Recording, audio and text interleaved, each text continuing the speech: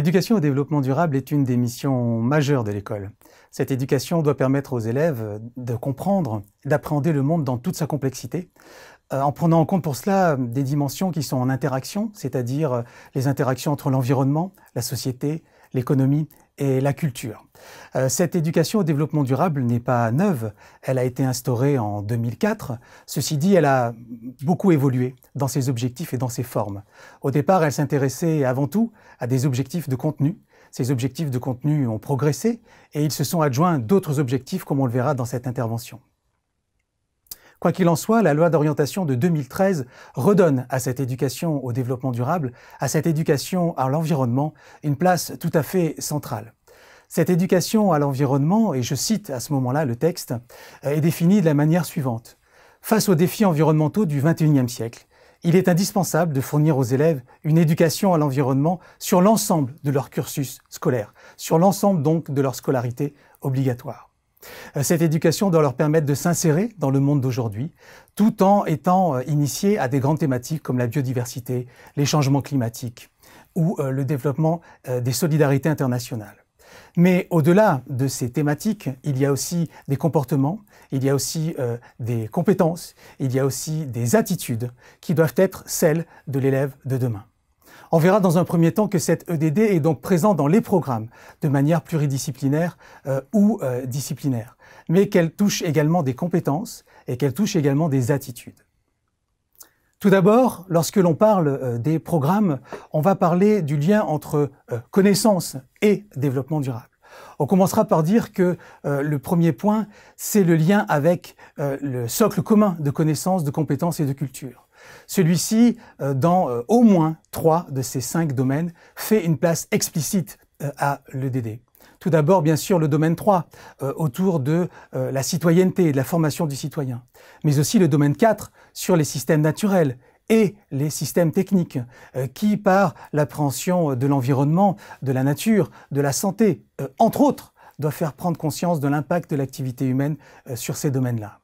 Mais il y a évidemment aussi euh, le domaine 5 qui, pour sa part, euh, s'intéresse aux représentations humaines, aux représentations du monde autour de l'activité humaine, euh, au rapport des sociétés, des sociétés avec leur environnement, avec leur paysage, avec l'espace dans lequel elles s'insèrent sur le temps long et à différentes échelles géographiques.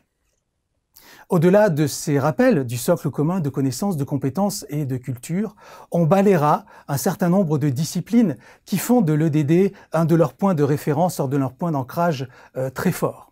Ainsi, l'éducation au développement durable est tout d'abord un objet d'apprentissage, euh, des notions, des chapitres, des séquences clairement identifiées qui amènent du contenu et une culture. On peut commencer par euh, évoquer les sciences et technologies, notamment au cycle 3, qui propose trois thématiques matière, mouvement, énergie, information, au sein de laquelle on va par exemple parler d'énergie renouvelable.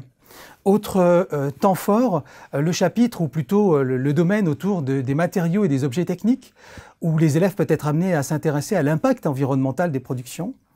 Autre grande thématique, la planète Terre, répartition des êtres vivants et peuplement des milieux, invite là aussi, notamment en parlant de la biodiversité, à amener les élèves à se pencher sur ces, sur ces thématiques-là.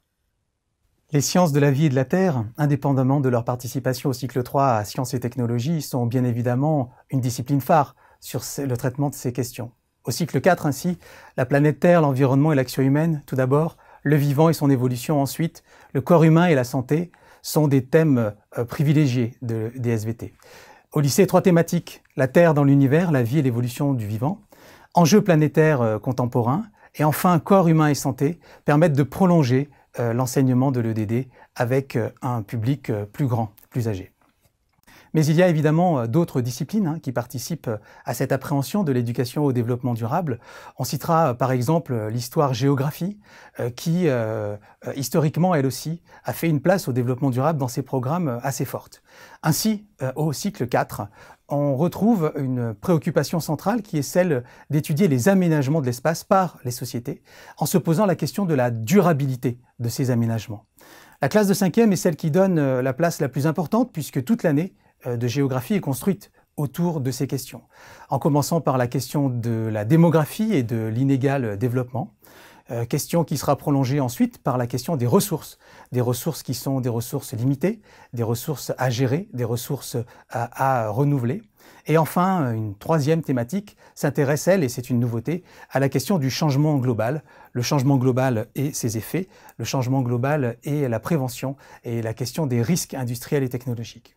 En quatrième, le développement durable est prolongé également, euh, et en tout cas il est étudié, que ce soit par l'intermédiaire de la question de l'urbanisation du monde, euh, des mobilités humaines, et surtout de la transformation des espaces par la mondialisation. Les mers et océans font leur entrée dans le programme de géographie à ce niveau-là.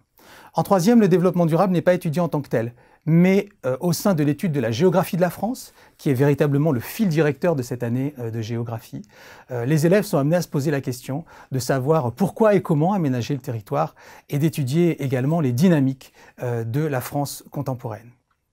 Au lycée, la classe de seconde est une année entièrement axée sur la thématique société et développement durable. Euh, un certain nombre de thèmes jalonnent cette année. Les grands enjeux du développement durable posés en introduction, la gestion des ressources terrestres qui ressemble à ce qui a été fait en cinquième, mais de manière beaucoup plus thématisée, euh, autour de la nourriture, euh, autour de l'eau, autour de l'énergie. l'aménagement de la ville dans une idée d'un aménagement durable, et enfin la gestion de quelques espaces terrestres particuliers. Le programme de première, qui lui aussi euh, est très centré sur la France, comme celui de, troisième, s'intéressera là encore aux questions euh, de développement durable euh, dans un rapport dialectique entre société et leur milieu. Enfin, le programme de terminale fait une place renouvelée au développement durable, tout d'abord en donnant à l'entrée environnementale le statut de clé de compréhension du monde d'aujourd'hui, et enfin en amenant les élèves à réfléchir sur les grands débats euh, politiques, géopolitiques, sociaux autour du développement durable. L'enseignement moral et civique, nouvel enseignement mis en place depuis la rentrée 2015, invite les élèves, là aussi, à s'intéresser au développement durable. Tout d'abord, dans le domaine de la sensibilité, on amènera les enfants à se poser la question du destin commun de l'humanité. Euh, dans la partie sur l'engagement, les élèves sont invités à questionner les responsabilités individuelles et collectives face aux risques majeurs, mais également à se poser la question de l'engagement associatif, de l'engagement euh, humanitaire et de l'engagement solidaire, que ce soit à leur échelle, leur échelle d'élèves participants, ou à l'échelle de leur, euh, de leur pays, en l'occurrence la France. Les sciences physiques, elles aussi, ont fait, notamment depuis la mise en place des nouveaux programmes de lycée 2010, 2011, 2012, mais aussi les nouveaux programmes de collège, une place renouvelée à l'éducation au développement durable. Ainsi, au collège, en plus de la participation euh, à sciences et technologies que nous avons évoqué tout à l'heure, au cycle 4, deux des quatre thèmes du programme de physique sont directement en lien avec le DD. Organisation et transformation de la matière, et euh, l'énergie et ses conversions offrent euh, des moments explicites de travail des élèves sur les questions de l'énergie, de la chimie, de la pollution, du traitement de l'eau, par exemple. Au lycée, c'est le programme de Terminal S qui, euh, par un de ces trois thèmes, euh, donne une place euh, précise. Agir et défis du XXIe siècle permettent de se poser la question du rapport de l'homme à la planète et à, la préservation de, ses ressources. Un petit peu en amont, les enseignements d'exploration scientifique offrent évidemment un cadre très ouvert et très propice au travail de l'éducation et développement durable. On citera notamment les thématiques nourrir l'humanité ou le défi énergétique, deux des quatre thèmes possibles et investis de manière très forte par bon nombre des enseignants. La technologie euh, notamment euh, en cycle 3, par sa participation à sciences et technologies, mais également au cycle 4, avec euh, le chapitre sur les impacts sociétaux et environnementaux dus à la production des objets, est elles aussi investies. Et au lycée, les sciences et techniques de l'ingénieur, qui ont d'ailleurs modifié leur appellation en STI2D depuis peu, sciences et technologies de l'industrie et du développement durable, sont bien là aussi également un enseignement tout à fait, tout à fait concerné par, par ces questions. Euh, la modification du terme de STI à STI2D nous invite en fait à, bouleverser les questions que se posent les élèves, c'est-à-dire les réponses au comment qui étaient juste à présent apportées par cet enseignement, comment produit-on, sont complétées aujourd'hui par les réponses au pourquoi. Pourquoi euh, produit-on de cette manière? Euh, La production dans ces champs-là est-elle viable? Est-elle vivable? Est-elle robuste à long terme? Ainsi, en enseignement technologique transversal, sur six objectifs de formation, les deux premiers sont explicitement dans le domaine société et développement durable. On les citera, hein, caractériser des systèmes privilégiant un usage raisonné du point de vue du développement durable, ou encore identifier les éléments permettant la limitation de l'impact environnemental d'un système et de ses constituants. Au-delà, plusieurs connaissances du, programme sont associées à la démarche du développement durable. Euh, principe de conception des systèmes et développement durable, les outils et méthodes d'analyse et de description des systèmes, les solutions technologiques. Dans la première partie du programme, le développement durable est clairement spécifié. Et on en trouve euh, des éléments hein, comme les relations fonction-impact environnemental, l'éco-conception, la mise à disposition des ressources. Si on va un petit peu plus loin, on sait qu'en STI2D, il y a des enseignements technologiques de spécialité. Architecture et construction, par exemple. Énergie et environnement, par exemple, portent dans leur référentiel des dimensions développement durable clairement convoquées. Innovation technologique et éco-conception, système d'information et numérique. Si leur référentiel est moins directement lié à l'EDD, on retrouve de toute manière en filigrane ces dimensions-là aussi. D'autres disciplines comme le français ne sont pas absentes. Ainsi, au collège, euh, on peut trouver en cinquième des entrées, par exemple, l'être humain est-il euh, euh, maître de la nature, qui invite à faire questionner les élèves sur les rapports entre les sociétés et leur environnement. En quatrième, l'entrée La ville, lieu de tous les possibles, offre un champ des possibles, c'est le cas de le dire, pour faire réfléchir les élèves, par exemple, sur l'avenir du développement des mégalopoles. En troisième, l'entrée euh, progrès euh, et rêve scientifique peut permettre de faire euh, se questionner les enfants sur la durabilité des choix, sur la place de la science et sur la question du futur et, notamment sur les capacités technologiques de nos sociétés. Enfin, on citera un dernier champ disciplinaire qui est celui de l'histoire des arts, euh, puisque, par exemple, euh, dans sa huitième thématique, les arts à l'ère de la consommation euh, de masse, invite notamment à travailler art, énergie, climatologie et développement durable comme support de production et support de réflexion de la part des élèves. On finira en disant qu'au lycée, les enseignements pratiques interdisciplinaires, les EPI, peuvent donner lieu à des moments croisés, à des moments pluridisciplinaires euh, autour de la question du développement durable. La thématique transition écologique et développement durable, explicitement nommée ainsi, euh, nous fait clairement toucher du doigt le fait qu'il s'agit d'un des champs privilégiés euh, de, des EPI. Enfin, on précisera en dernier lieu au-delà de tous ces éléments qui viennent de citer, qui sont donc des objets d'apprentissage clairement identifiés dans des programmes, qu'il existe une grande liberté pédagogique aux enseignants, qui peuvent donc, en plus de ces moments, de ces passages obligés, habiter l'éducation au développement durable euh, pour faire passer d'autres éléments du programme ou pour faire passer des capacités multiples et variées. Les objets d'apprentissage ne sont évidemment pas que des connaissances, elles sont, euh, euh, ces connaissances sont imbriquées, sont liées de manière structurelle à des compétences qui permettent euh, leur ancrage et qui permet euh, leur mémorisation, qui permet leur compréhension par les élèves. Euh, l'éducation au développement durable est propice au développement d'un certain nombre de compétences. On les citera, hein, certaines d'entre elles en tout cas, les compétences scientifiques, la démarche scientifique par exemple, l'extraction, l'exploitation d'informations, l'esprit critique par rapport aux sources, la mise en place de changements d'échelle dans le raisonnement, qu'il soit spatial ou temporaire, la pratique de différents langages, l'argumentation, le développement de compétences sociales et civiques, la collaboration, le débat, l'échange. Et au-delà de ces compétences, on peut parler également de méthode, de démarche, l'étude de cas, la pédagogie de projet, les démarches collaboratives, les mises en situation, les simulations, la prospective, l'investigation, l'engagement et l'esprit critique sont autant de compétences de démarche, de mise en situation propices pour faire appréhender aux élèves toutes les sphères euh, citoyennes de l'éducation au développement durable. En ce sens, on pourrait dire que l'éducation au développement durable s'insère dans le parcours citoyen de l'élève. Ce parcours citoyen a été défini en 2016, il est très récent. Euh, il s'intéresse à l'école, l'école comme lieu au sein duquel des compétences, des connaissances doivent être acquises par les élèves pour leur permettre de vivre et de s'insérer dans la société euh, qui est la leur. Le parcours citoyen est un parcours qui s'impose aux élèves euh, tout au long de leur scolarité obligatoire, du CP à la terminale. Et ce parcours citoyen est défini de la manière suivante, et c'est là où il est très intéressant par rapport à l'éducation au développement durable. Le parcours citoyen, c'est d'abord un certain nombre de connaissances et de compétences, au sein desquelles l'éducation et au développement durable est, euh, est un des trois champs qui est clairement convoqué à la suite de l'EMC et de l'EMI.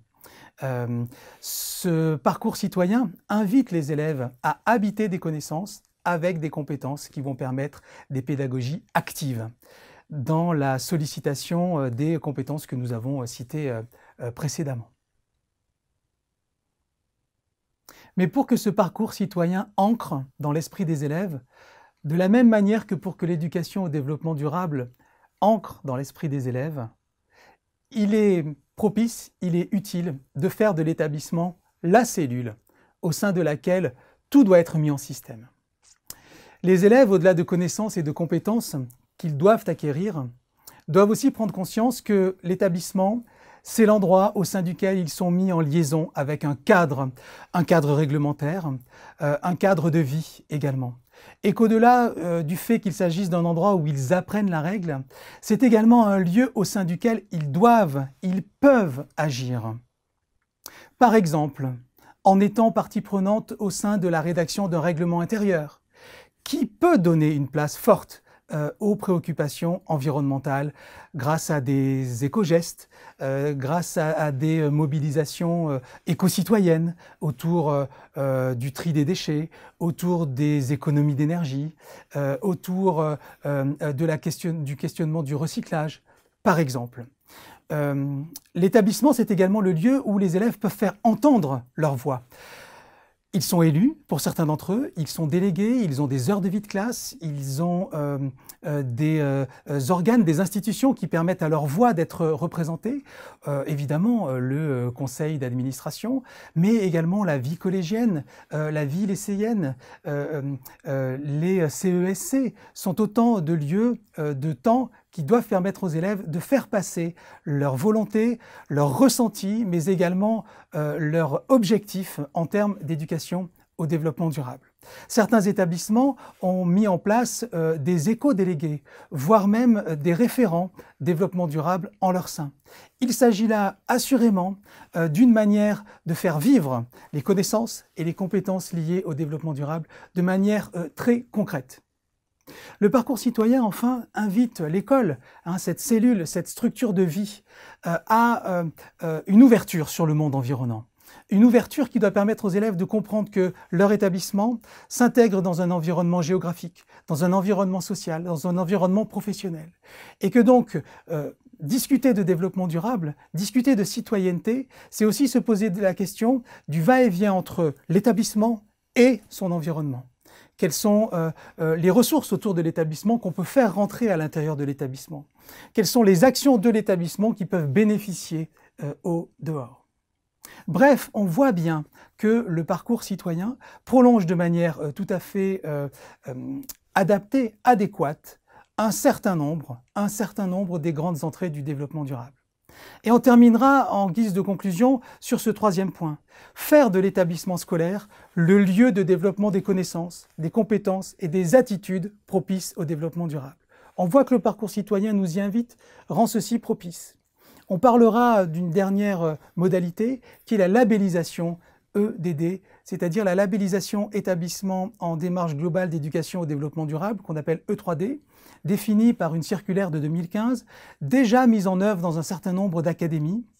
Cette labellisation vise à reconnaître les établissements au sein desquels il y a une mobilisation des énergies à tous les niveaux, les connaissances, les compétences, les liens avec les disciplines, mais également le fait qu'à l'intérieur de l'établissement, tous les acteurs, élèves, enseignants, euh, direction, agents, parents aussi, soient impliqués dans l'éducation au développement durable. Donc des connaissances, des compétences, euh, un système, mais également des actions, des actions remarquables, des actions éco-citoyennes, des actions éducatives, des actions qui s'inscrivent dans le temps long et qui permettent aux élèves d'être acteurs et d'être partie prenante. Les établissements qui ont le label E3D peuvent être positionnés sur trois niveaux, 1, 2 ou trois, qui permet de reconnaître leur euh, investissement au sein de euh, l'éducation au développement durable. C'est donc bien à une vue systémique, à des actions euh, à différentes échelles, disciplinaires, pluridisciplinaires, en lien avec le plus grand nombre d'acteurs possibles, d'ouverture sur le monde extérieur, que nous invite la mise en œuvre d'une éducation au développement durable cohérente, pertinente et également qui s'ancre sur le temps. Une éducation au développement durable, durable finalement.